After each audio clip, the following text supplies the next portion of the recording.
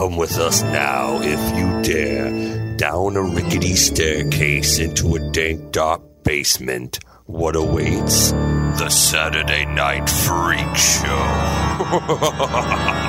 Hey, thanks for listening to the Saturday Night Freak Show podcast. We're a movie review podcast or a movie talk podcast. It comes your way every Saturday with your whether you're ready for it or not. Uh, do whatever you can to help us out. Become world's fastest podcast by going over to hit that like, subscribe, star rating, all of that stuff. What's a review? All of that stuff helps it found by other like folks like you. Uh, these are the internet radio superstars. Holly, John. Michaela, And I'm Con. And tonight we did something that's never been done before. We watched a movie chosen by John. What did we watch for the second time tonight? a, a movie chosen by Travis. Um, uh, we watched Spookies, From the year, uh, 1985, 86, 87. directed by. Directed by directed by three people. All right. Ah, That so, you explains know, a lot. so that's oh, it's a good sign. Let me give you their names: Thomas Doran, Brendan Faulkner, and Eugenie Joseph. Okay. Well, there's a story here about this movie Spookies. Oh, Is there a story? and well, yes, indeed. there's also the question of why are we watching Spookies again? Because if you go back to December, uh, what was it, 29th or 19th of 2015, you can Yes. hear the Saturday Night Freak Show talk about Spookies. But You we're can doing indeed. it again. How come? To be fair, uh, it's half of the people that are currently here talking This about is it. true. Now, this is. Uh, I mean, this is my fault. Um, Your uh, fault. Okay. I, I got a, I got uh, uh, like I said before, I got a hair up my ass. Um, uh, Vinegar Syndrome on Black Friday came out with for the first time ever on Blu-ray Spookies. Now we had watched this five years ago in a not so great transfer of the film. I think we watched it Uh, on YouTube. I think we did, um, and it wasn't uh, it wasn't the best presentation. Uh, since then, we've gotten the Blu-ray, and we've also gotten uh, loads more information on the film itself and why it is what it is. Um, and so I thought about it, um, and I thought I uh, that uh, I thought it was time for a uh, a re-review, a revisit of this material, considering it had been five years since we first went through it. Um, and there are two people on the podcast who have not seen the movie, and we have a, a wealth more knowledge about the film. Uh, so I figured I could get away with revisiting Spookies. All right, We need to we're- put a safe search block on your phone for any vinegar syndrome content. This is uh, this is it. I looked through everything. I have Tammy and the T Rex, and I have Spookies, and that is it. What? There is You- No Cathy's curse. yeah, That's on, Hell like, Comes uh, to Frogtown isn't coming Sorry. back to the Freak Show? no. Hmm, well, I mean, I didn't see it the first time, so hey, you should stop talking. You're just gonna do it to yourself, Colin. Uh huh. Sean's a wild man, a wild card out there. If you agree Yeah. with this decision, direct all your email and to Sean at Saturday Night Freak Show. Uh, okay. And So- Sean Uh, Spookies um, is a movie that has a well, I don't even know if it has a substantial cult following. Would you say it's um? Well, I mean, I guess it does. I think it does. It's because of the fact that it was unavailable for so long. That correct? Yes, yes, unavailable. Well, it, it was available, uh, uh, very limited, hard to find. Um, it was also and Well, uh, it was on think- VHS. So it was available Yes. on VHS back then. So if you didn't have your VHS tape, then it was right. Did it ever make yeah, it to that DVD? it. I don't think this one made it to DVD. If it did, it was um, uh, a very bad transfer, um, and also in very limited supply. Okay. Um, so the movie, and then it, uh, I believe, after its brief theatrical run, yes, Spookies was given a theatrical run. I believe in Yes, 1987 or 88. I think it was eighty-seven. Okay, when it was finally released, but um, the and then the movie played on USA Up All Night, and a lot of people got to see it that way because it played ad nauseum for years and years. I guess they kept bringing it back. Um, but it didn't always. It wasn't always called Spookies, and it didn't start out that way. It did not. It started out as uh, a movie called Twisted Souls. Uh, Holly and Michaela, having you two having not seen this before, would you believe that this is actually two movies forced into one? What? What? No. No way. It's brand new information. um, so, uh, what part? Where do you think the lines are in this movie? Like, what do you think is one movie, and what do you think is the other? And is it is it totally obvious? I mean, it was pretty seamless, but I'll do my best. try, please try. The so the kid stuff at the beginning is definitely like a separate movie, right? Uh-huh. Yeah, Because when I was watching that, I was like, this feels like a really long cold open, right. and then it just kind of stops. Yeah. You could say that about a lot of this movie, and then it just kind of stops. Yeah, that's true. And then the other is with all the quote unquote teenagers in the cemetery. The teenagers and their dad. Is that what you're going with? Okay. oh well, no, I, I so I don't think that's what it is, but but it. Oh, again, I have a theory on that. Well, for the Um, folks at home who haven't seen this before, it's basically uh, it, it, the setup is like every single '80s. Well, I guess suppose slasher movie or something. It really does seem to key off of maybe like The Evil Dead. It's basically we're going to take a group of people who are going to have some reason to go to an old haunted house, and only in the spookies case, this is going to be a house that's full of uh, fun little monsters or big monsters, right? Full of spookies. full of spookies. The spookies of the title.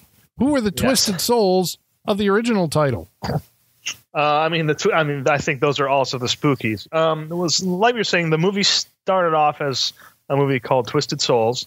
Um, there were three directors. Um, the first two original directors, Tom Doran and Brendan Faulkner, um, they started filming Twisted Souls, and that's the movie you see with all the quote unquote teenagers in it and all the monsters uh, throughout. We say Um, they- teenagers, they top out at like 50 years old.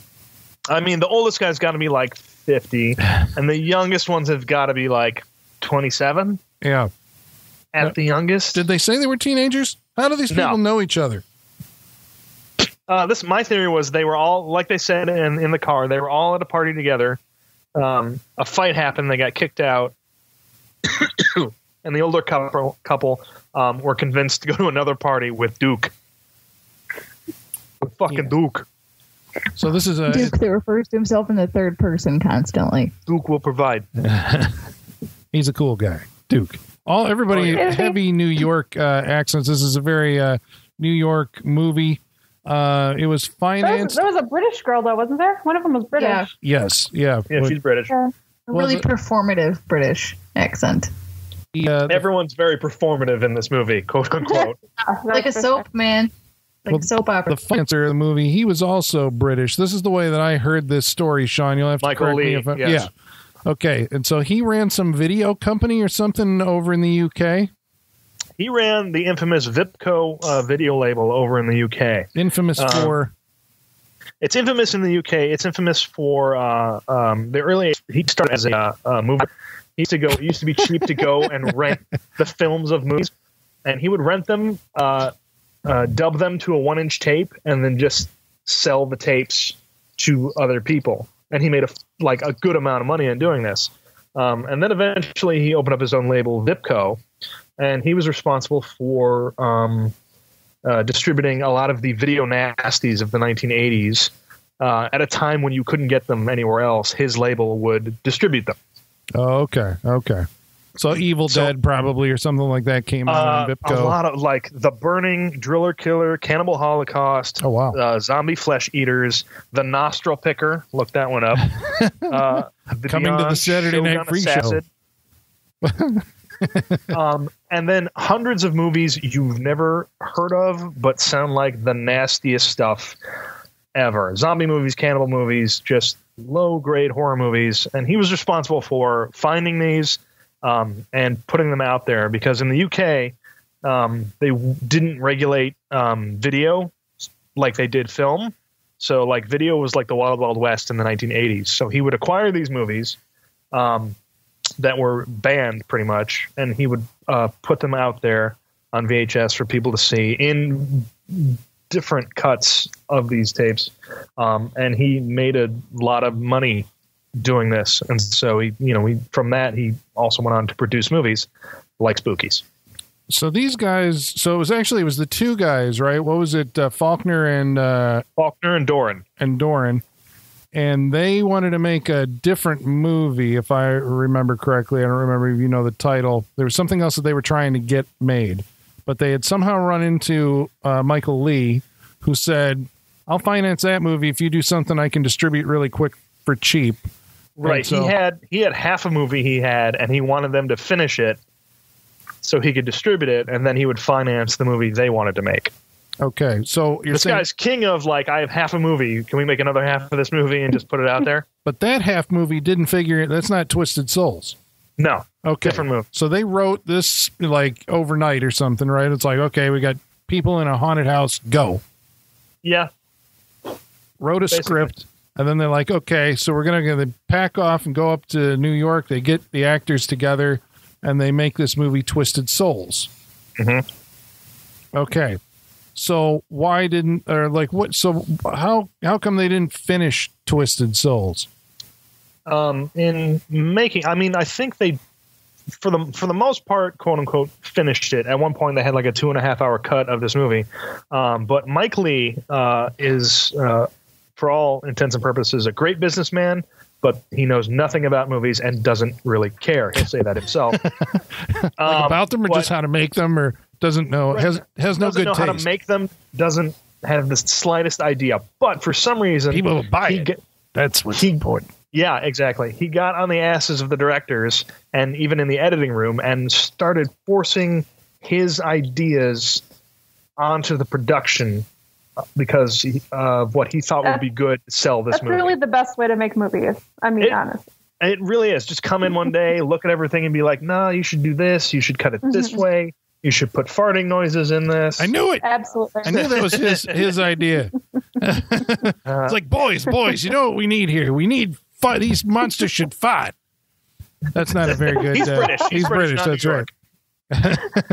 So so and eventually um, uh, enough of the crew uh, had it up to here with him and they walked off set basically everybody at that point um, and uh, and then because um, he Michael Lee didn't like some of or most of what they had he hired uh, what Eugenie Joseph or Eugenie Joseph convinced him to come in and direct more material for the movie um, before they distributed it, and that's the the bookends of the movie and the Catman that you see running around in the middle of it. So, Jeannie Joseph, the way that I heard this, I mean, I don't know if this was uh, confirmed because her IMDb is uh, light. Let's put it that Yep. way.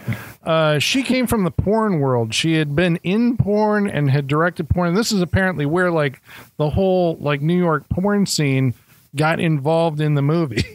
Yes. Like, so these are uh, they're coming in. So they don't really know a whole lot about movies either. They look at Right. this two and a half hour. Well, the story that I heard was that the two and a half hour cut, um, they had taken, you know, after the directors walked off, and they're just like, "Fuck you, Michael Lee," you know, we're done. He Yeah. took the movie and showed it, or I think when it was where where where they blew up at him is he showed it to some distributors, and the distributors are like, you know, we can't, it, we, you know, there's some promising things in here, but this is too long, it's too boring, blah blah blah, and so that's when the, basically there was this big fight. They left and left him with the movie. He said, "Well, what am I going to do?" So he hires uh, Eugenie Joseph to come in and look at the movie and figure out how you would fix this two and a half hour movie. It's two and a half hours, right? I mm-hmm. have to imagine that you could cut a 90 minute movie out of a two and a half hour movie because we're saying that they actually they finished shooting Twisted Souls, Yeah. right? So that means that that movie had a beginning, a middle, and an end. It might not have been good, but it had a beginning, middle, and an end, Right. right? So what happened when Jeannie Joseph got a hold of the movie?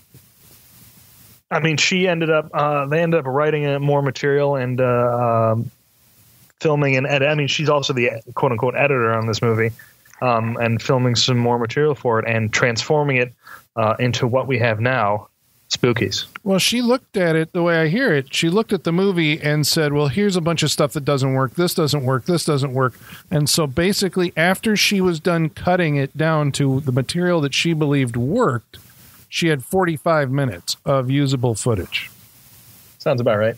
And so that's when she said, Well, you know, if you give me some money, Michael, I'll go and shoot more material that we can kind of beef the running time up with. Is this a ploy by Jeannie Joseph to make, you know, basically to make uh, her own movie and cut it into an existing property? Uh, I, I think so. She was. Um, even people who've worked on the movie said she was the worst thing she was was opportunistic. So yes, she was definitely um, trying to get her way into uh, making films, and this is the path she decided to go. Did she do anything else? Uh, no, I don't think so. I think this is the last thing on there. There might have been a, a one other movie after this in 2011, maybe, but no, this was under under her name, Eugenie Joseph. Um, I don't. She has a few other names, and I haven't checked on that, but I think this is it. Okay, I thought there had been like at least one other film. There might be saw, one other. but uh, here we go. Uh, Mindbenders in uh, 1987. Wow. So she's directed three movies: uh, Spookies, Mindbenders, and Pheromone in 2010. So there you go. That's the other one. She's still out there doing something. What about the other guys? Did they ever? Did this completely ruin their careers, or uh, did they recover? Um, I think uh, um, what's his name? Uh, Brendan Faulkner. I think worked on a few other things, but Tom Doran, um, pretty much, he tried to get work off of this, but uh, it pretty much tanked his career after this. no one would give him work uh, because they wouldn't give them any of the. Uh, they never got any of the like the two and a half hour cut, the material that all the stuff they shot. They never got it. And so he didn't have much to show anybody that he could actually direct a movie. Is this stuff all just uh, uh, destroyed? Is that what It's gone. thinking? Yeah, it's gone. Uh, it looks like uh, together Faulkner and uh, Dornan Doran both Doran. did uh, Killer Dead, uh, 1992. Okay. So they tried one more movie, and I believe they even had uh, the older guy from this movie, the guy who played, we're saying the dad, uh, was in that the, movie. the news anchor. Yeah. Okay, so this is a schizophrenic melding of two movies that don't fit together at all. Um and they're just kind of Oh. like bashed together like a car collision. So they're mangled up. There's a piece like there's pieces in there where there's shards of glass and little bits of mangled bone and flesh and metal all integrated. But basically, they're is that a good metaphor? Maybe uh, you know, with what's Sure. it, uh, Twix or whatever, the peanut butter and the chocolate. The two Well, see, great that's good tastes though. I like the go- car crash better because you don't know which car. Yes. It's like it's like two of the almost same car crash into each other, and you just can't tell which piece is which. There you go. Yeah. Twix makes it sound like they complement each other and they Right. I Yeah. wanna, yeah. Twix are delicious. This, I mean, this movie I don't think is delicious, but Don't do Twix like that. Don't do Twix like that. Yeah, we want them to sponsor the show someday. We can't besmirch them like that. right, they're gonna look back on this and be this would be like them finding our old tweets about racism and shit. Like we can't we can't involve them in this right now. Not that we have done that. You're just saying as an that illustrator. Yeah, yeah, yeah. Um, okay, so maybe is the best way to attack this to like briefly go through uh, s- Twisted Souls, and then go through Spookies, and then explain like how the two are intertwined, or how do you want to do this? that sounds complicated. I think we just start. I mean, that's from- not the movie I watched. No, Okay. I think we just got to do spookies. Okay, Like I think we, we gave our backstory on the, the difference, but I think we have to just come at spookies as it is. Yeah. Okay, so as it is, we are introduced to a. Uh, is he a sorcerer? Uh, there's this guy who speaks. All of his dialogue is uh, is um, dubbed over something, so it makes him sound like he's talking through like a cardboard tube, It's a German cardboard tube. which is really irritating. I mean, it sounds like there's something wrong with the audio. It doesn't sound like it's a you know like a post production effect. It feels like a. It sounds like a mistake. Right. when you watch it. It's this old dude lives in the basement of a mansion. It's like a the greenhouse part of a mansion. There's windows and shit. I don't know. Is he living in another dimension from the actual action that's happening? I don't know. No, there would be portals, Colin. Duh. So his name is Cronin or what, what is it? Okay, I haven't didn't even- look in the credits. I Okay, don't remember his name. so I have no idea. I don't know anyone's name in I was gonna movie. say I don't think I could tell you anyone's name in this movie. no, I don't know one name. I think there's Carol and Duke. How could we forget Duke? Oh, Duke. Yeah. Okay. One because he Duke, said yeah. it a lot. That's why. Right. he's like the John Travolta of the group. you don't Um, do him Whoa, like that. hey, don't hey, do hey. Like that. Duke is all No. dressed up. What is that? I mean, it's not PVC. Is it just plastic? Leather. Leather. When we were watching this on YouTube five years ago, it looked like he was just wearing trash bags. It still does. Yeah, with zippers. Yeah.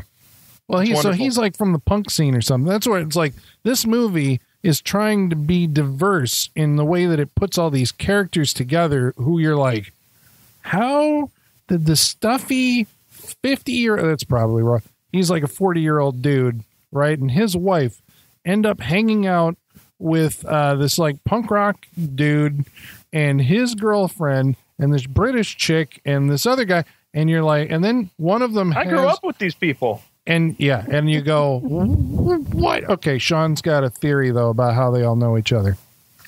Uh, well, the theory was that, uh, like I said, they all met at a party. The the Duke, obviously, who has a uh, anger problem, got into a fight, Clearly. and uh, clearly, from the way he tries no, no, to no. They, enter they, doors, they grew up with Oh, these boy. people. Homeboy literally, he literally turns around. And he's like, "Why is that door there?" and smashes a chair on it just because it exists. That's my favorite cut of this movie. He's just like he bangs on it lightly, it cuts away, and it cuts back, and he smashes a fucking chair on it. like goddamn door. Well, the sorcerer is like laying in wait in this big. Uh, uh, his whole thing, I guess, like that whole uh, plot line of the the additional material is that he's trying to bring his dead wife back from the grave. Yes. Um, but to lead into this, we get uh, a like this 13 year old kid has run away from his house because his parents forgot about his birthday. He wants to have a birthday party.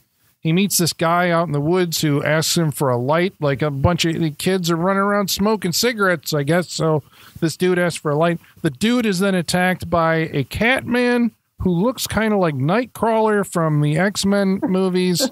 Catman Crothers. Are we sure he was a Catman? what do you? What was going on here? He is a Catman because at one point he meows, and one point he purrs. He's Yeah. a flat out cat. Okay, because I It looks thought like brown face. originally my take on it was that this guy was a shapeshifter, right? And then maybe he was the dude that was in the woods asking for the light from the. But no, he kills that guy for no reason, Yeah. Yeah, because we see that guy come back as a zombie. Right?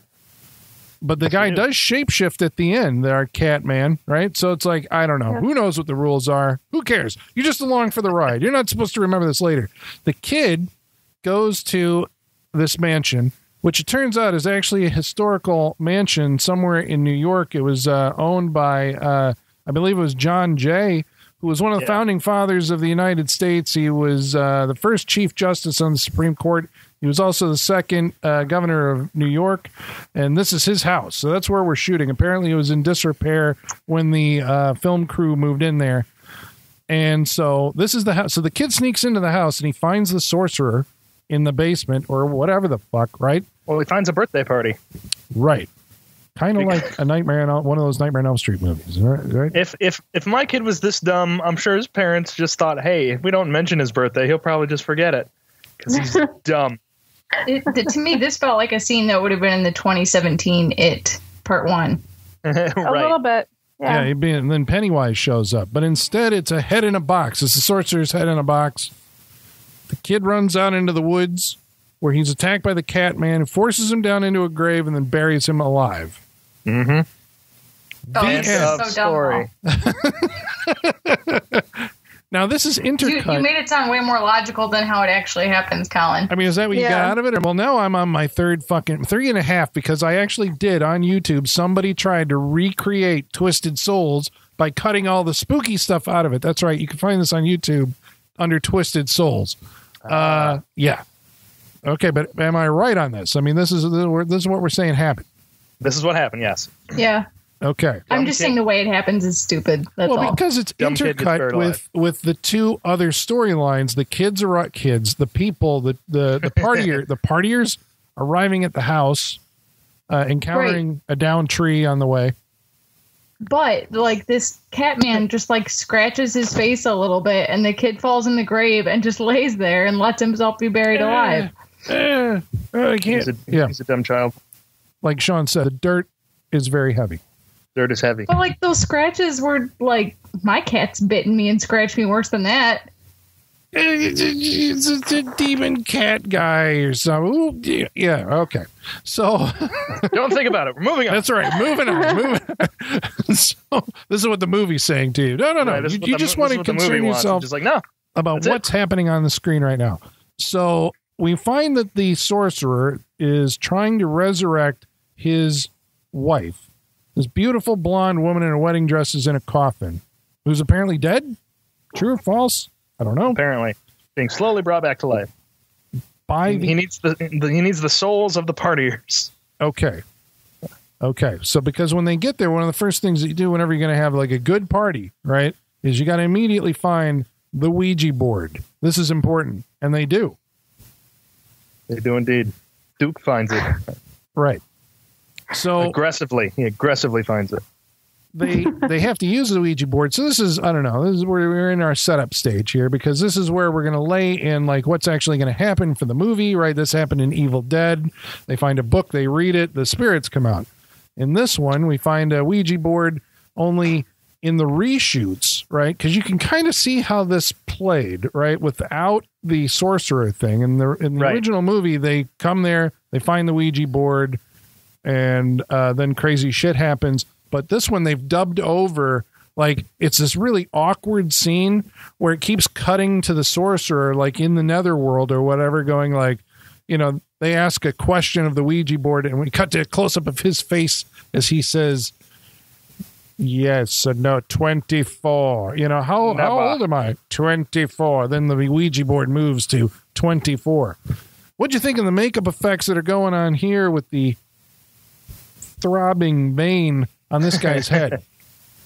So that's a good throbbing vein. Uh, this old man has a very young back neck, though. I will say that. you know how I think they got the, this plot thing of the, the quote unquote sorcerer? How? Okay. Later on in the movie, there's a scene where our protagonist, our protagonist, it turns out, is not Duke, the younger guy who's all coated in uh, trash bags, or a final girl. It turns out that our protagonist is the old dude, which has got to be like one of the movie firsts, right? The tweety old guy who's like one of the most boring performers in the world is the actual hero of our story. He goes into a they go into a room you know because this house has a bunch of rooms. Eventually they're running away from all these creatures and they end up in this room which has a bunch of occult paraphernalia and on the wall is a photo or a portrait of presumably the ho- home's original owner okay Hmm. i think and then because then there's some backstory about like he must have owned this house and maybe he found out a way to contain the demons and blah blah blah and if we look through all of his books whatever whenever they cut to the painting on the wall, they have a painting of the actor that they hired in the second portion of the movie. I think this was the scene where they were like, "This is what we're going to base the whole thing on." They mm. there's this little bit of exposition about like this sorcerer. Bam, we're going to put a sorcerer in the movie, and we're going to change that shot on the wall. So whenever we cut to it, it's going to be the actor from the the reshoots, and this will tie it all together. Did it work? All right. So they just extrapolated from that little piece of the original movie and and went off of there. So they are connected. Is what you're saying.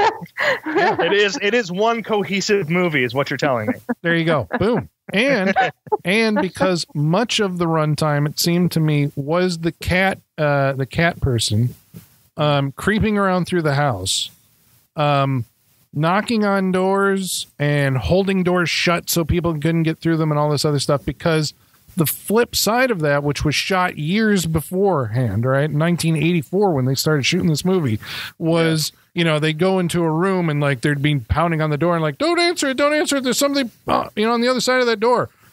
In the reshoots, they shot to show that it's the cat guy creeping. He's been holding on to the door, so you always see the cat guy moving into position to do something to open a door or to knock on a door, scratch on a door, whatever. That our characters in the original original shot Twisted Souls movie are reacting to. Right. Did you buy it? Genius, right? I mean, come on, it fits together. It's like a puzzle. It's perfect. It's got to be. I mean, come on, that's got to be fun to put together. Be like, look, look, it fits so perfectly. Yeah, I mean that's how you pad out a movie from forty-five minutes to what is this uh, hour and twenty-five or something like that? I think is the yeah, hour twenty-five. okay. Exactly. But the real reason that you're here, and the real reason that this movie has any kind of cult uh, status, is because of the monsters. Would that be fair I, to I say? would, I would think so. Yeah, that is fair to say. Okay. Because the guys who made Twisted Souls actually did go and um, create um, some. I think this is this is. I'm not, like, not even being facetious here. This is the strength of the movie as a demo Yeah. reel for your creatures. uh, Like this is a pretty. You figure that these guys probably got work, right? Yeah. Oh yeah. The makeup effects guys. Do we know who they are?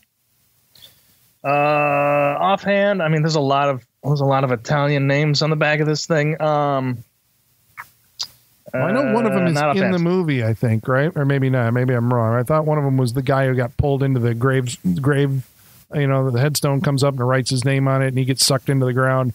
That might have been one of the effects guys. I'm not sure.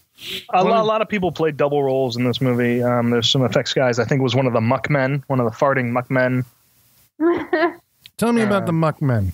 Okay, so this is one of the creatures Muck- that we meet.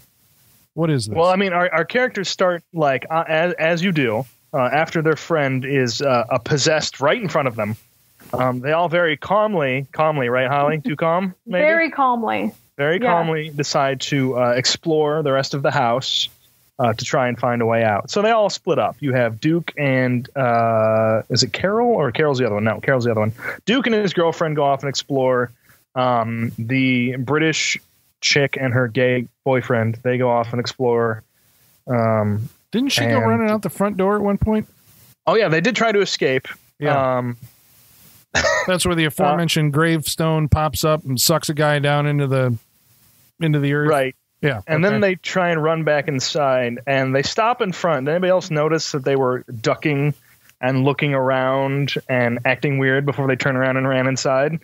Uh, there were supposed to be ghosts and shit flying all around them, but that never made it into the movie. So it's just them Oh, ducking that's and such cowering. a shame.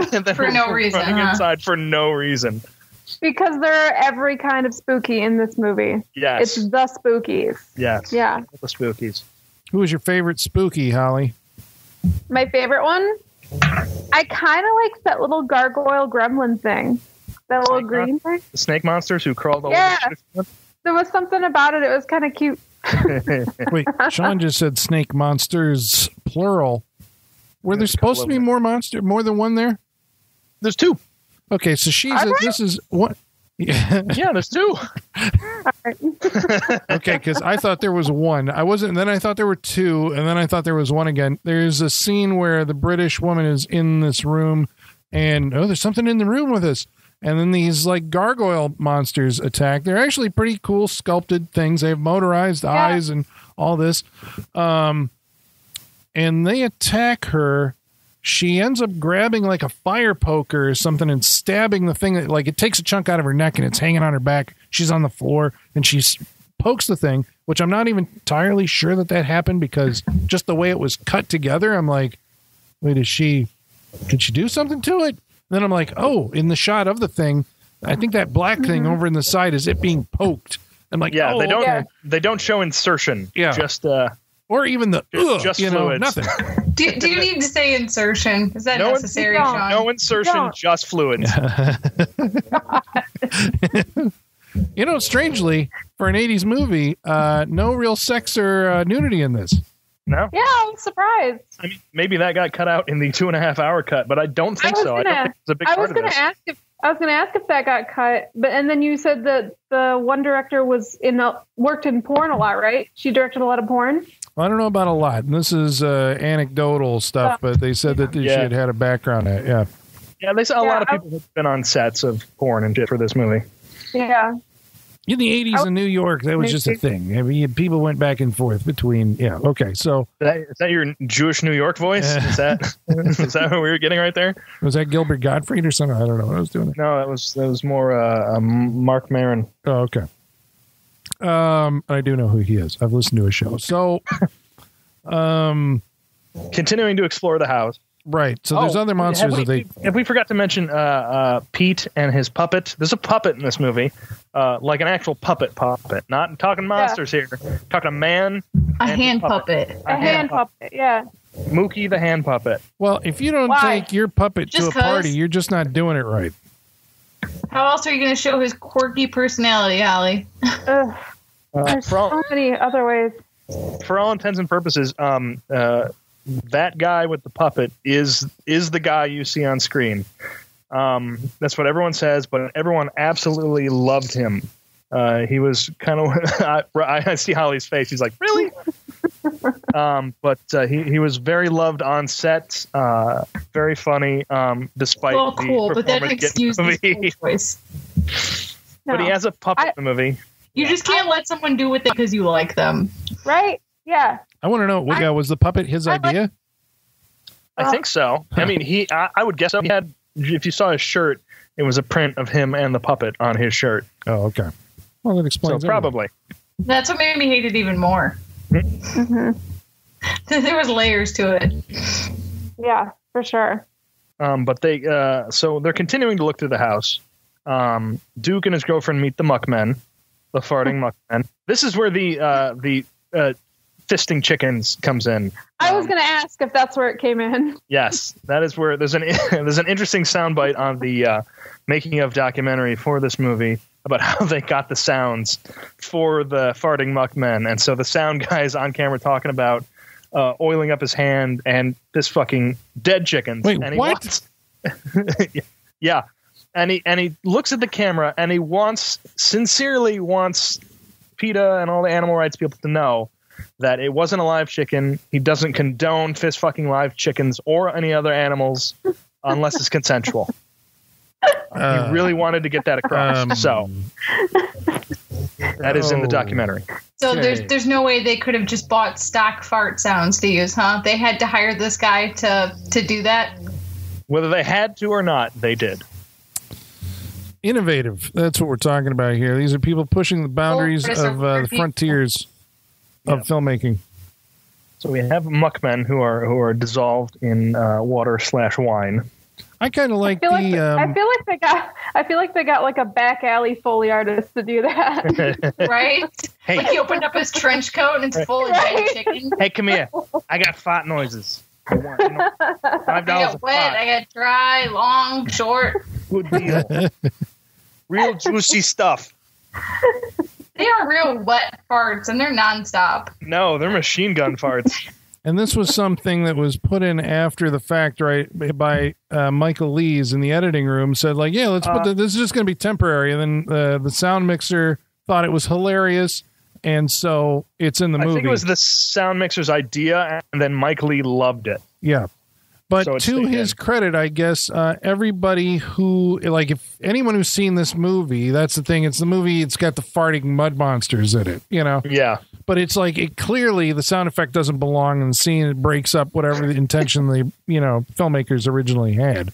right. Um, I like the Spider Woman. This is a pretty elaborate dealio. Spider later. Woman's pretty great. That's my favorite one for sure. That's pretty cool. Yeah, this is I how like, the, I like uh, the ending of the Spider Woman. It's gross too. well it, it, Yeah, it real has she's- that she's level ugly. where it hits you know like the gore and then there's the like well it's this beautiful asian woman in a like tunnel full of cobwebs our hero with the uh uh, the puppet, whatever the fuck his name is, the hippie looking dude wanders down there and she beckons him in, and then he gets stuck in a web and she begins to transform. First of all, it's her face, then her head like splits open. Then there's all sorts of like uh, a covering on her brain that's undulating and moving. I thought maybe like a third eye was going to come out or some other kind of thing. Her face gets all shriveled up and she turn. Then she starts sprouting these gigantic arms. and then through her mouth, which then starts, you know, salivating and keeps opening, and the fangs come out, and this monster like shoots out, hits him in the stomach, and that's where you know, when she turned into the thing, I'm like, okay, this is you know that's pretty cool as it is. It just keeps going, it hits him in the stomach, and then it like you get a close up of his face as it seems like the life gets like sucked out of him, and he It uh, gets sucked dry. yeah, and he, Yeah. he his head collapses. This you know like they suck Yeah, the, all the air out of it. It's like the guy from Starship Troopers, except they sucked it through his body and not his head. Yeah, yeah, yeah, Yeah. yeah. Her head gets real like bulbousy and heavy. Like it looks like her neck can't hold it up. It gets, it's so Yeah. gross. There's a lot of like head stuff in this movie. Yeah. Like splitting heads, pulsating heads. There's a lot of head stuff. Faces Mhm. dissolved by uh, acid or whatever the hell that was. That one woman. It was dissolved by red and magic lightning. Oh, that's right. Yeah, yeah. Because there's another That's all it creature that just shows up for a brief period of time. It's this big uh, reptilian-looking green thing that shoots electric bolts. This is my second favorite one. yeah, this one's good. I'm kind of sad it's only in there for that one brief scene. It Yeah, has like- tentacles. Yeah, and, it's it got had like, a, exposed, beating heart. Yeah, yeah. It was all That's glistening cool. and kind Yeah. of gross. Like for Yeah, what like, these guys. For what they were able to pull off on this budget and probably under you know the time constraints i can only imagine like this is some pretty decent work. Now i mean some of it i would say you know especially there's a big grim, grim reaper that shows up uh, toward the end that's chasing them through the house has big glowing eyes kind of look like something you can find at a spirit halloween store you know? Sure. but still even for then there were no spirit halloween stores. So all this was sculpted and you know and built and animate you know the fact that they went to the detail of putting the little uh, uh moving eyes in that little reptilian uh, snake monster thing Yeah. it's that kind of level of detail that kind of like elevates it over like okay well we just threw something together however the second uh the second crew that came in and did the second part the second movie basically right The, the cat man. they threw in the catman and didn't the the wife of the sorcerer after she's brought back to life and is like i don't want to be with you. You got to kill me. I- like i don't want to be here. That's the whole thing. He's in love with her. She hates him. He brings her back to life and she just wants to get away from him. Uh she escapes through like a, a tunnel or cave or something. Isn't there like a soul sucking rubber harpy thing in there that Oh yeah, she goes into a cave and there's like a, a la- it looks like the thing from Poltergeist kind of. Uh, it's like a laughing sharp demon type thing, like a, a, a another bride looking thing. I don't know. It's hard to describe. Well, to me, that one was clearly made by a different special effects crew than the other one. Yes, Um, definitely. well, I believe it's Carol. Carol's the girl who was using the Ouija board who got possessed, right? Hmm Her eyes begin to glow, her face changes, gets all wrinkly, and she ends up shooting. a- So there's there is a climax that this that Twisted Souls is working to that we never get to see. Am I right? Like it's just at some point there's a scene where a lot of lightning sparkler shit explodes. Well, this is after our anchorman uh, has found the most unique way to leave a room. Uh, another moment, which I thought think is great. Um, they get attacked by, like you said, the uh, the the Grim Reaper, and this is where Duke meets his end, I guess. Uh, he gets sliced in the face, and then the anchorman jumps up on him and is like, "Move! Gotta get through the door!" And he just jumps headfirst through a door, a closed door, you're saying? a closed A door, closed door. Yeah. Well, that's right mean, through it, and he's perfectly fine. Gets everyone else out. Um, yes, and then they finally make their way down to a room with Carol, the final room, as it were. Um, and then she, uh, oh, at this point, the um, the sorcerer gives control of everything that's going on to his son, the little boy in the hood. Who just this shows up? This kid painted blue with fangs. Okay, Yeah, he's like, this this gave is me our false son. hope. what were you hoping for? I was like, "Ooh, this reminds me of Phantasm, like the little dwarfs around Phantasm in Ah. the brown coats." Because he was a brown coat running around in a cemetery, and I was like, "Oh, cool." That's Oh, probably where they hope stole the idea from. Very true. from Phantasm. Well, it turns out that the little boy and presumably the cat man are the offspring of the the beautiful bride in the coffin, right? Because even though she's dead, She was dead, right? I don't know. She's still, she's still popping out babies, apparently. Yeah, he's Demon still babies. getting her to pop. So the impression I had, correct me if I'm wrong, all of the spookies are alluded to be her offspring. True or false? I guess. It could be. There's nothing to say that you're wrong. I'm not sure because I, I thought they were driving that point home because when she finally escapes, she stabs the old geezer in the head and he bleeds all over the place and he dies and she escapes. And then all of a sudden, there's zombies popping out of the graveyard and one of them calls her mama, mama. And I'm like, mm-hmm. okay, so we're saying that everything is her kid.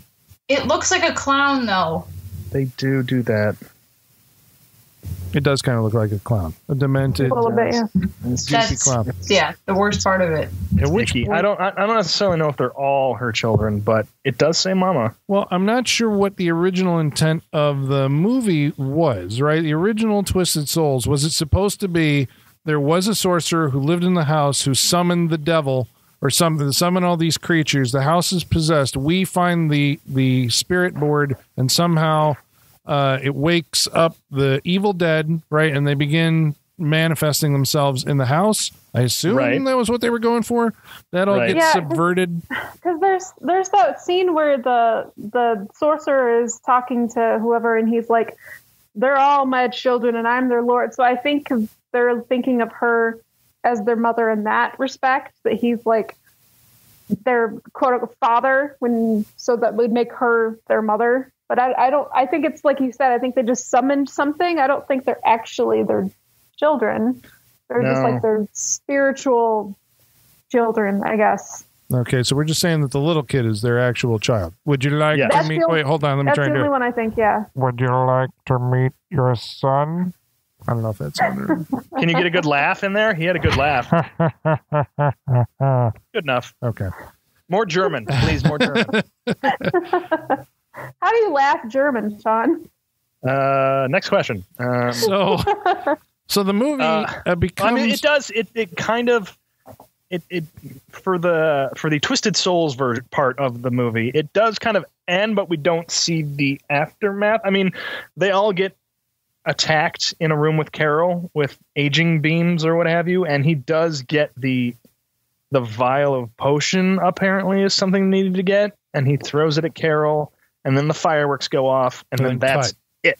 yeah. Then we cut to the other story. So there's. Yeah. It really feels like, okay, we're just we're moving on from that now. I liked when Michaela when we were watching it is like. You know, because then it becomes a music video, like a, a It really thriller thing or something. And she's like, "Is this the the rest of the movie?" I'm like, "Yeah, we just forgotten about that whole other thing that we were doing with the people in the house of the you know, Yep. the Ouija board. That's over. We're moving on.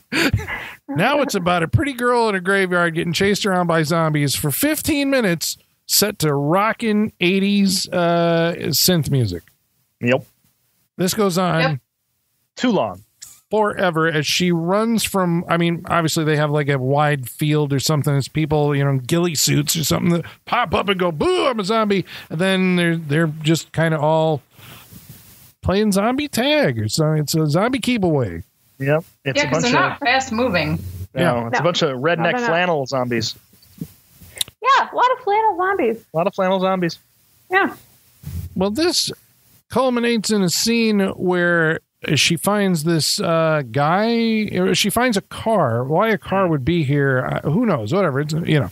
And he's like, "Hey, lady, what are you doing on my car?" And she's like, "Oh my god, there's zombies everywhere." And so he's like, "Well, move over. I'll drive." And so he gets in, and they get away from the zombies. And we're like, "Okay, here we go." Then she's like, "I finally got away from the creepy old dude who brought her back to life and loves her so much that he won't let her die."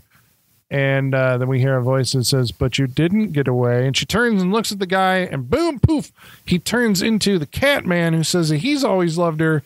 And we go, What? And then uh, we see a gravestone that explodes, and the sorcerer pops out of it and goes, That was better. Freeze frame credits. And we sit there going, What the holy hell have you done to us, Sean? hmm I have to entertain you in quarantine, Colin. this is what you get when I am in isolation.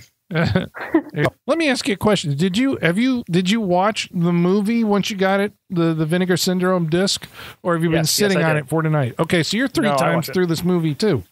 Um, um, this would be one, two. Yeah, this is the third time through it. Okay, okay. So I had to do it for the freak show, and then uh, Travis, when he got the Blu-ray, had to watch it again.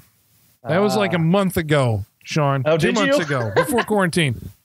Hey, that's not And, my uh, fault. Here we are again. Colin, you're an adult. You make your own choices. No one forced you to I- watch it. I don't. I was How- overruled. Helen, I feel like Helen, I feel like every time any of us pick a movie, you're like, I just watched that. Yeah, well, this it is happens true. all the time. I do just watch everything.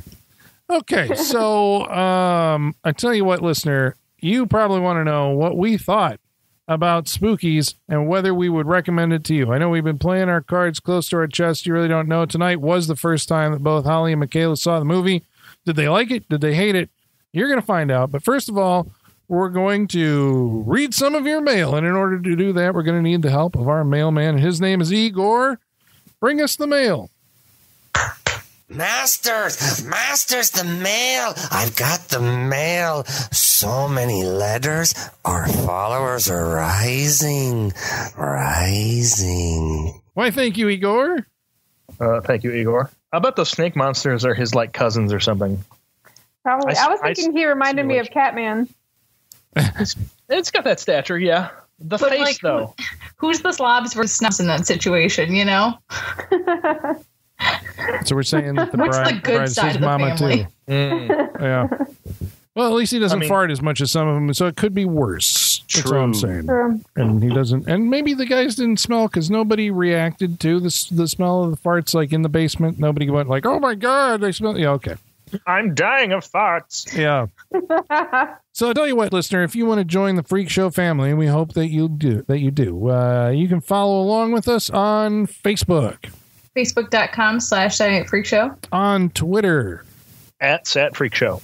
You can email us, Saturday Night Freak Show, yahoo.com. or you can follow along on Instagram at Saturday Night Freak Show. About tonight's movie, Spookies, MF Mad writes in and says this might be the best and worst thing you guys have ever done.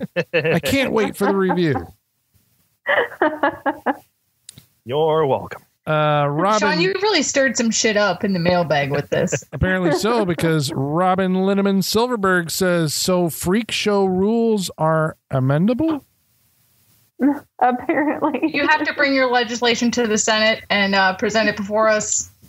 Vote on it. Yeah, Or just or just pick it and then present your legislation afterwards. there you go. uh, Travis Legler says, "Well, if that's the case, my, may I request a remake of Maximum Overdrive?" Would love to. I would actually enjoy that. Teresa, I would love to do that one. well, Teresa Ann says, "Then I want a redo of Creepshow since Sean was absent that week." I'll, Yeah. I- fuck, I'll redo that too. That movie's great. Oh, come, you guys are killing me. You're just trying to get my yeah. Okay, Just We're- we're gonna- off. it's working. We're going to have to at least wait a couple years on Creepshow because we just did that like no, months what the ago. fuck? Why do we do it again? Well, you should just do Creepshow every week. Okay, Nelson Creepshow, Nascimento writes in and says, You can call it Twisted Souls and pretend it's a brand new film. Some interesting effects work to take your attention away from what the hell is going on from two movies mashed together. Mm-hmm. True, true. That's a nice capsule review right there.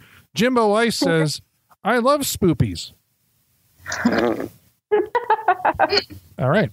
Uh, two weeks ago, we watched a movie called Serenity. Mars Cobra 18 says Anne Hathaway is super gorgeous.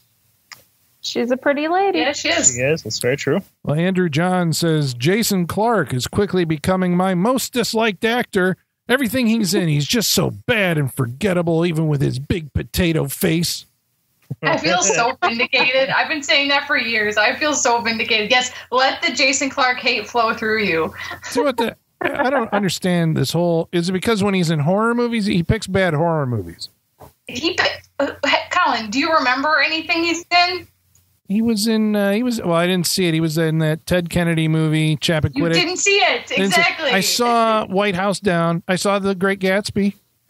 Hmm Yeah. I was going to say the Great Gatsby. Yeah, Yeah. and he th- there's also Leonardo DiCaprio in that movie to make up for his deficiencies. I think I've only seen him in bad movies. The last one was like Terminator. Yeah, I was gonna say he was Yeah. in that shitty Terminator Yeah. movie. and the Wait, Pet which Pet one? Sematary. Sematary, let us not forget. Michaela. Uh, he was in Genisys, which yeah, is that the Yeah. shittiest Terminator movie? And the vote is still out on that. Um, it's pretty shitty. because the new one was maybe even worse. Okay, so Grant Parrish said about Serenity, this movie looks great. Anne is coiffed and styled beautifully. Maddie is rocking a magic Mike level body. Diane Lane is MILF perfection.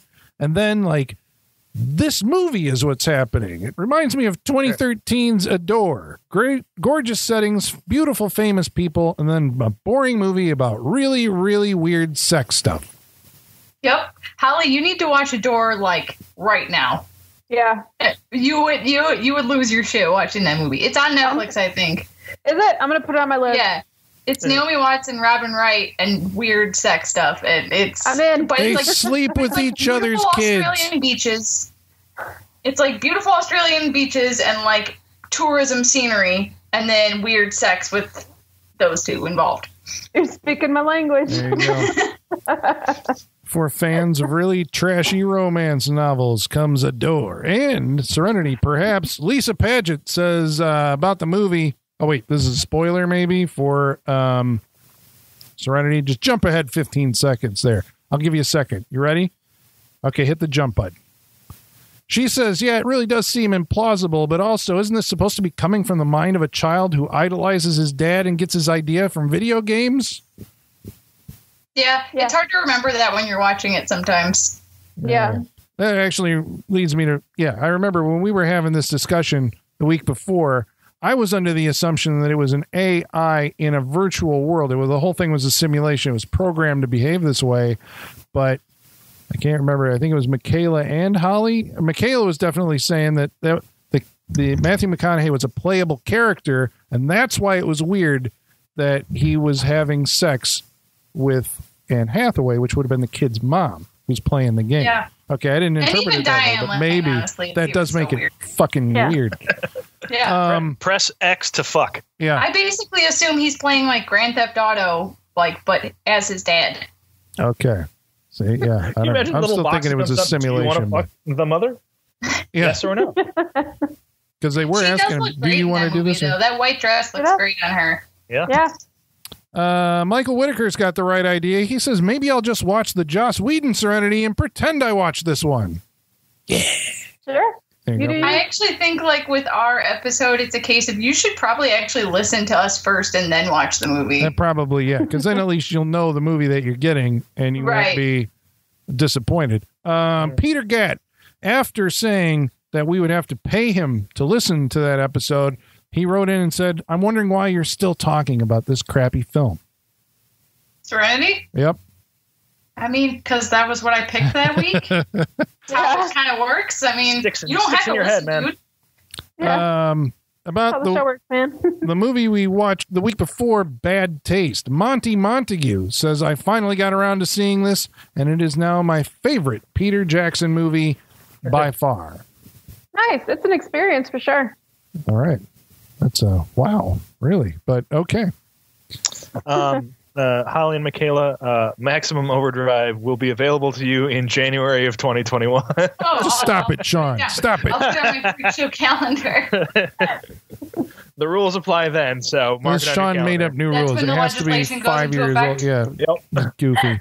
Okay, so So not uh, the fall session. They'll have to wait till next winter. Okay. Uh, so now we're gonna go around the room. We'll tell you what we thought of tonight's movie, which was Spookies. We're gonna start with Colin, probably. no, we don't start with me. If we're going wanna down the start lineup, then you start Oh, we with did- Holly. all right, right, right. That We're going was, with that was Holly. Michaela. Michaela, Why Michaela? No, it's you. because I did last week. Yeah, but Yeah, it's I'll Sean's. start. I can start. Okay. We're taking turns, man. It's hard when we're not sitting in the same room That's together right. to figure Um, out the order. Michaela. All right. um. So I had never seen this before. I didn't honestly even know what it was about. Knew nothing about it other than Sean had brought it up every once in a while. Like I, I don't Do even you know what it's horror- about now? N- not really. Um, but like, I don't even really see like horror people I follow online talk about this movie. Like, you guys are saying it's a cult favorite, but like, I'm missing wherever people are talking about this because I don't see it anywhere. Alamo Oh. Drafthouse just did a virtual screening of it. That's cool. Um, I I actually I said to my husband after we watched this, I said, I don't really know what I'm gonna if I'm gonna recommend it or not because I'm gonna need Sean to explain it to me first. oh, what did Toby Yeah. think? he just kept saying, "What is happening? What is this movie about?" And at one point, he was Yeah. like, at one point, I said that to him, and he said, "I don't know. I gave up on this a while ago." but then, like, he would get reeled back in every once in a while, like the Spider Lady. He was like, "Oh, that was really cool," you know. Um, so I guess the way I'm looking at this is, obviously, it's a disaster of a movie, and obviously, it makes no sense. But that's a lot of movies we watch. Um, and the creatures were really cool and there was so many of them like way more than i ever would have thought i feel like if you if you made one of those like newer kind of like mondo posters about this movie you it would be like crammed full of the stuff in this movie and it'd be so much to draw but i i guess like when it comes down to a movie like that when i think about it would i rather watch this or like 13 ghosts for example i'd rather watch this honestly like it this is stupid but I enjoyed it and I was never bored. I was just like, what the fuck is happening? Um, it's just, it's disjointed as all fuck, and it's it's obviously very amateur level, but I think that's makes it kind of endearing. So I think I kind of have to recommend it just based on the number of creatures and how cool they were. Holly, do you want to go next? Yeah, wait, I'll go next. Uh, Michaela, just to convince you further, uh, Gary Pullin did some artwork. Okay, yeah. See, I love that guy. So now I'm like, all right, well, Well, maybe. And Richard Corbin did the the original theatrical poster. He did a lot of like heavy metal magazine stuff. Right, all that, yeah. But it's a, it. it's got a cool poster, which is probably why everybody kid wanted to rent it when it was in the video store. right? Holly, Um, yeah. Um, yeah, no, Michaela, I, I'm totally in sync with what you're saying. I, I had no idea what the hell is going on this entire movie. I still don't know what was going on. I'm very confused by everything. I don't remember anyone's name. I don't understand what we just watched, to be honest. But that being said, I was never bored. And the fact that uh, we were constantly like, what the fuck is happening was to an entertaining point. You know, sometimes we watch something and we're like, what the fuck is happening? And it's just too irritating. It's like, no, I need more. I need a story. I need something. This was entertaining enough that the what the fuck feature actually works in this case. I was never bored, always entertained, and the monsters are seriously cool. There, there's a ton of them. Like I, at one point, I said during our group chat, um, the amount of monsters in this movie is like spectacular, and that's totally true. I, I love the because they they're so different, you know. I love that they went for it with each one. Each design is is different, and I, I think it's really cool. They worked with a lot of different um, features on the on the monsters, and it, yeah, it was just a fun movie. It was batshit crazy and makes no sense, but it was fun, and I I enjoyed it. I I'm glad that we did a revisit on it. I can see I can see why Sean wanted to do a revisit on it. Um, yeah, so I think I'm going to recommend Spookies. I think it was fun. Colin, I'm what did you think? uh, floored. I'm shocked. Uh, I can't believe. I mean, well, obviously, like I said, this movie does have a following, so it's because of sentiments just like that that it worked. You know, I mean, it worked on people. I think because it's a gallery of uh, a menagerie of goopy creatures that are fairly well realized in a movie. Unfortunately, that doesn't exist. You know. I mean, there is no movie here, and that's, I guess, the problem. This is a horrible, horrible, awful movie with some good makeup works that plays as a as a demo reel for the makeup effects guys, and that's it. So, I mean, either you're in that camp and you want to see it just because it's got cool monsters, which I think is like also why the people want to see Return of the Aliens, Deadly Spawn, and stuff like that. Like it's got a cool creature in it, but yeah, actually, you know what? My opinion really hasn't changed. I'm going to say go back in our episodes to December 19th, 2015, and find out what I thought of Spooky. Sean, what'd you think? Actually, you can find out what Sean also thought. And then you can find out did he change between then and now? Let's find out. Sean. see now that is Colin the businessman right there because he's like, we're gonna get double the listens on this shit. I'm not gonna give a review. I'm gonna send people back It's all to about the other the one. You gotta- you Genius. Yeah. Uh, Genius. Colin, uh, someone who might be on your side for this movie is uh, the cinematographer Ken Kelsch.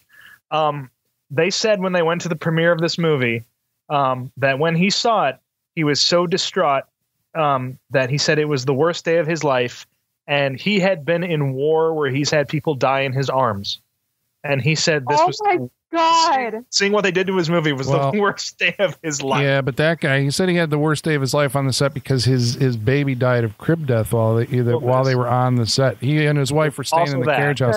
Yeah. Oh, Um. Uh. Wow. Uh. So, I mean, spookies. I mean, I think you guys have said it all. Um. Uh, I'm a fan of this movie, and uh, one thing I think we need to give credit for. Uh, we've already done monsters. I think are uh, incredible. I think they're great.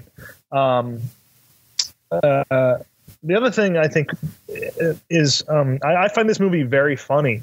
Um, the uh, they asked the director if um, anything in this movie was cut together the way he had put it in his head, and he said not a single uh, cut from one thing to the other is what it was supposed to be. Not a single one, and I think that editing adds a real funny edge to this movie. Um, uh, and I think that's the other thing that's that's great about this. I think it's a very funny movie. I mean, the acting it, it's horrible. Uh, obviously, Colin is right. It's a horrible, bad movie. But because it's that way, and because of the acting, because of the editing, um, and and because of some other stuff, uh, I find this movie very entertaining. Um, I also love. Uh, I, I find it fascinating the story behind the movie. Uh, I mean, that's why I bought the Blu-ray because you get all that information. Um, so, I mean, I, I, I find the movie very entertaining. The story behind it, I also think, is very entertaining. Um, and I think a lot of you people will find it entertaining too. Uh, I will say that once we get past the Twisted Souls part of the movie and we get into the music video, uh, I will be shutting it off from now on because I can't sit there and watch that uh, zombie horde attack her uh, again. But uh, everything else I find extremely entertaining. Uh, so I will recommend Spookies. I recommend it. You go out and watch it right now. Also go back and listen to the other episode. Yeah, because what what did he say the first time around? What did I say? Aha, you don't remember, do you? I don't. all right. There we go. Now, at Sean's Sean- pretty. Sean's pretty famous for changing his mind, so I wouldn't be surprised if it's different this time. Well, Right. Five clearly- years. I've had time to marinate. Clearly you saw it five years ago, and when Vinegar Syndrome came out with it, you're like, man, I got it. Did you get the one with the whatever the, the limited cover? It looked like it. No, I mean it's got it's just I got the regular DVD. It's got the reversible cover and everything. Oh, okay, Um, because they had a slip cover that sold out and is now worth a fortune. it was Yeah. like the first five Oh, hundred is it? copies or something like that. Yeah, it looked like uh, a little bit of the poster art. It was the girl with the torn dress on the grave, or, you know, with the zombies. Yeah, that's the artwork on the other side. Okay. Well, all right. There's Spookies Revisited on the Saturday Night Freak Show. Spookies Rewind. Spookies Reloaded. Spookies Reloaded. Spookies Redone. Spookies Revelations. Spookies Redux. The Bride Spookies of Spookies. Son of Spookies. Spookies.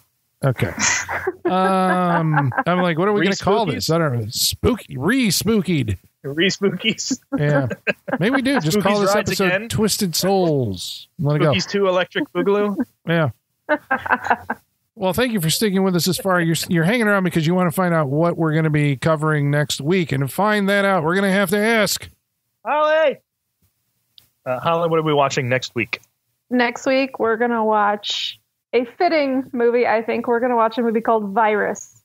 Oh man, I just watched that like a week. No, that's uh, I'm, not, God no, I'm kidding. I'm kidding. I'm kidding. I've never seen it. This is the Jamie Lee Curtis one. Jamie Lee Curtis and Donald Sutherland. Yeah. Okay, I've never seen it. So there you go. All right, awesome. Yeah.